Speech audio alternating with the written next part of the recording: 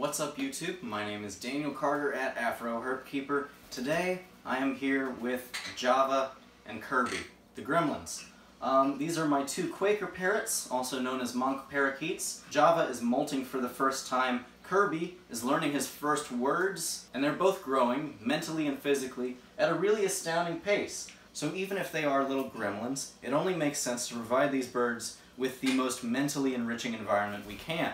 That's why they get lots of time to scream and fly around the room and do all of their parody things. But it's also why I have redecorated their cage with all sorts of cool new stuff that we're going to go over and we're going to watch them check it out for the very first time. So, without any further ado, let's do a parrot cage tour.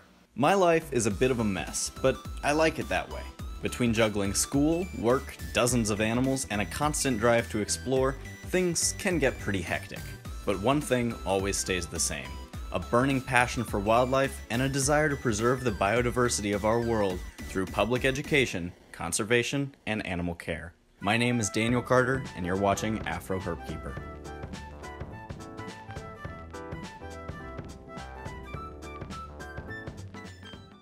Alright, so we just barely managed. I've gotten both of the parrots back into their cage, and it is full of new, colorful, scary things. Quaker parrots have a natural inclination to be afraid of new things, so uh, hopefully all of the new, colorful, shiny stuff doesn't freak them out too much. While they figure this new stuff out, let's go over what exactly goes into their new cage. So this is my bird tower. I have my Quakers up top, and then down below, I have a number of my Chinese button quail. Java and Kerbey are from the Austin Wildlife Rescue. They are feral Quaker parrots from the colony established in Austin, Texas. So the Quakers in Austin create gigantic nests on telephone poles, power lines, all sorts of things that are really problematic for the local electric companies. As such, nests used to be knocked down pretty indiscriminately, but now the electric companies partner with Austin Wildlife Rescue to take in the baby birds and find them new homes. So that's how I got Java and Kerbey, and why their label says they are from Austin Wildlife Rescue. Their enclosure is a pretty good size for two birds. It's 3 feet long, 18 inches deep, and about 4 feet tall. It has one main large door for access, which they are very good at escaping from when it's open. And then they have four of these front doors and two of these little side doors. Every single small door is clipped shut because they are very smart, they know how to open all of them, and if I give them the chance, they will. Seeing as I have three cats and one giant lizard, it's not a good idea. One of the handiest features of their cage is down here. Uh, their litter tray comes out for easy cleaning. I just cleaned it. You can see they've already pooped on it a number of times. They have a very fast metabolism. Um, and I have spilled a little bit of their water dish on here, but that dries up pretty fast. So the litter tray, which I just put paper towels over, uh, slides out like that, and so does the bottom screen, just like this. Seeing as I have stuff resting on top of that, I don't want to move it out, but there it is. On top of their enclosure is an exterior perch. This is where they hang out most of the time when they're out of their cage, flying around the room, and when they're not chewing on my ceiling fan. Over the back of the cage, I have a blanket. This is just to provide some extra shelter and security for them. I also have a heat lamp back here, just a standard incandescent bulb, and a UVB lamp, specifically designed for birds. This is a Zoo Med brand lamp it extends all the way down to the floor as a normal lamp would so that it can actually hang over the top of the cage. This is just as essential for birds as it is for reptiles because it mimics natural sunlight, it helps with their physical health, their feather growth, and it increases their spectrum of visible color indoors. Now since we have talked about all the external features of the cage, uh, we're going to try to get in there and talk about what they've got going on inside. This is their water dish. This is their food dish. Both are stainless steel. Those are pretty self-explanatory.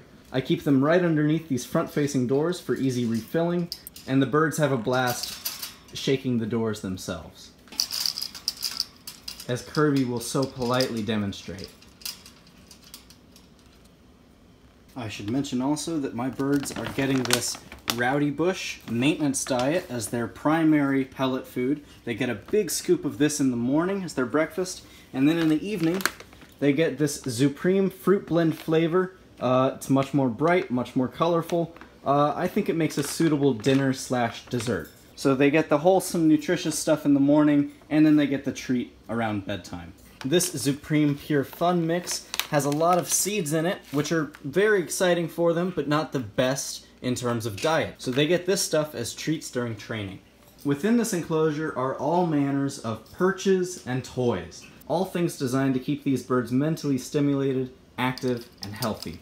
They're a little bit wary right now, as I said, because they are afraid of new things, and there are a lot of new things for them to process in this enclosure right now. Hidden in the back of their enclosure is one of their newest additions. It is a plush tent designed specifically for birds. This is their new bedroom. They haven't tried it out yet. I'm hopeful that they'll use it and have a good time with it. But it is just large enough for both of them to fit inside and have their wings touching the sides. Uh, it should be nice and cozy and snug for them. I really just hope that they don't poop in it. Running along the back of their enclosure is their main perch. It's a braided rope, it stretches all the way across, and it gives them the ability to walk all the way from one end of the enclosure to the other. It makes things easy for them. Hanging in the center is a very similar item, one of the new things that they got just minutes ago. It's the same concept, but it hangs from the ceiling, and it has a little bell on the end. Hopefully this springy perch will serve the same function as the rope perch in the back, just on a vertical axis as opposed to a horizontal one. I'm going to regret opening this because they're going to fly out right away, but I've got to do it. Here they come. They were being really bitey earlier. So inside the cage they have six other perches. This is a concrete petty perch. It's smooth on top, rough on the bottom, and it helps them file down their nails. It's all one piece, it's molded in concrete, so there's nothing that can flake off and get into their digestive tract. This is the perch that gives them access to their water bowl. Down on the left is its counterpart. This is a Pacific perch. It's made of ground calcium. This is another perch that they can file down their nails on. It's a lot rougher than their other perches. When you're choosing your perches, you want to have a lot of variability. You want perches of all different textures and all different sizes, so long as they can comfortably sit on top. So in addition to our concrete and calcium perches and our ropes, uh, we have two of these dowels, which are nothing special. They just provide a little extra maneuverability. And two of these manzanita branches. One of them sits on the bottom of the cage, acting a little bit like a tree, and the other one gives them access to their food dish. Right smack dab in the middle of the cage, they have this rope ladder. Uh, this is also pretty new. It's not brand new, but they've been getting a lot of use out of it already. It again provides vertical access like this spring, and it lets them get right up to the front of the cage when they want to be let out. Java has arrived to visit. He just wants to be on my shoulder. He does not want to contribute to the video at all.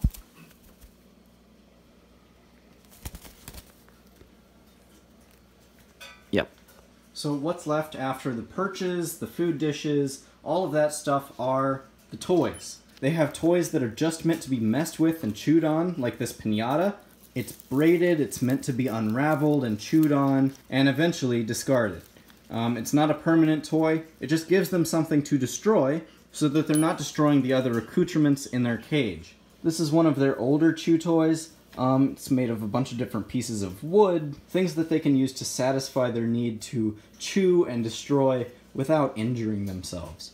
This is their third equally old pinata. It used to have a ton of stuff on it, now it is just this, like, corn husk material. On the floor of the cage, they have this PVC tube. It's just meant to be a little tunnel that they can explore. Up high in the cage, this is one of their favorites. This is just a little rubber ball. It's almost like a dog toy, and it has a bell inside. Very exciting. Next to that is our braided rope toy. This is another thing that they can chew on. They're not necessarily supposed to pull this one apart, but it gives them something to work on. And then brand new to the right of all these toys is this bright and shiny number, fresh from Amazon.com, and this one is called Wiggles and Wafers, on account of both the Wiggles and the Wafers. This is sort of a combination chew on and destroy and just mess with toy. Hopefully it's bright and shiny, keeps them occupied, uh, and they don't hurt themselves with anything on it. But that just about does it for the toys, perches, etc. inside of their enclosure. There's one more thing up here. This is their calcium supplement. It is called Zoo Med's Banquet Cuttlebone, They've been chewing on it quite a bit, as you can see. It's basically just a flavored block of Cuttlebone and calcium dust. Now, before I let you guys watch these guys explore all of their new stuff, uh, I gotta say thank you very much for watching. If you enjoyed the video, feel free to leave a like, a comment, uh, or hit the subscribe button if you're not already a subscriber. Feel free to stick around to the outro to see other videos I've uploaded recently. And as always, have a good one.